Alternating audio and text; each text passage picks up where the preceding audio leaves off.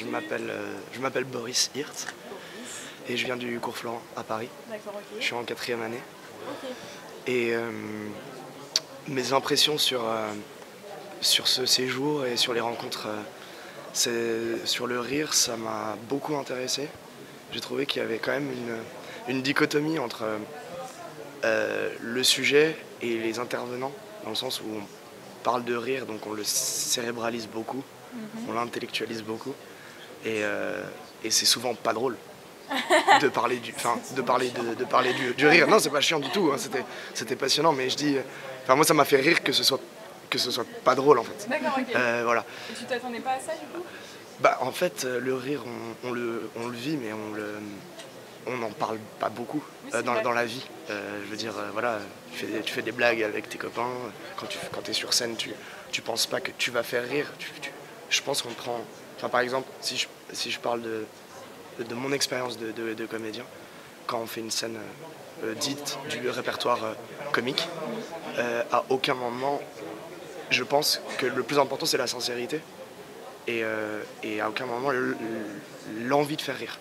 Je pense que c'est parce que le, le comédien croit ou fait croire qu'il croit absolument à ce qu'il dit que ça, que ça fonctionne. Et enfin voilà.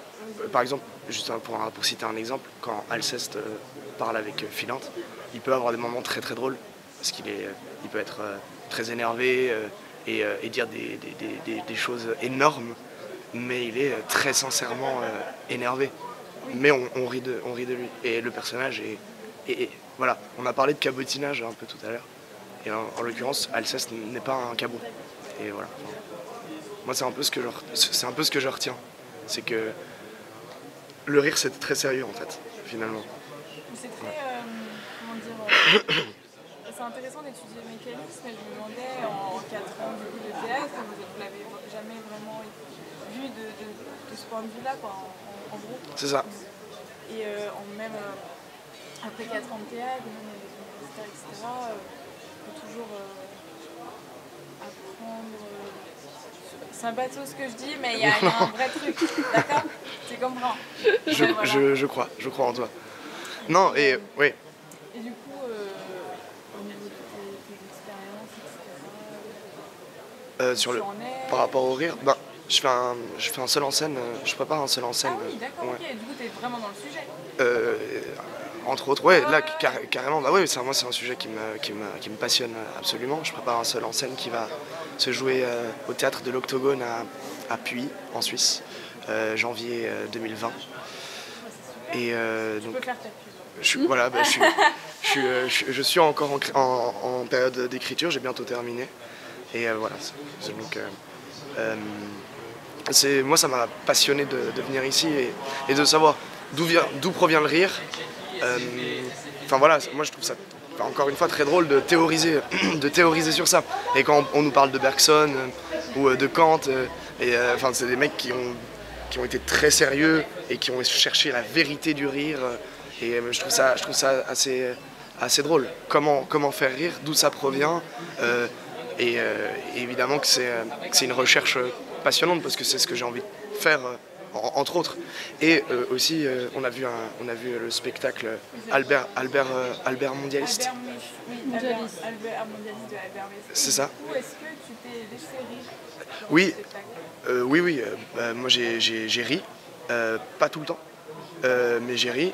Et euh, c'est ce que je disais avec, je- j'échangeais avec euh, d'autres personnes qui avaient vu le spectacle, c'est que le rire est, euh, c'est des blagues, c'est une succession de blagues, une succession de blagues absurdes où ils torturent un peu le, le langage et, euh, et on, voit, on voit un peu les, les contradictions dans le langage, c'est assez intéressant.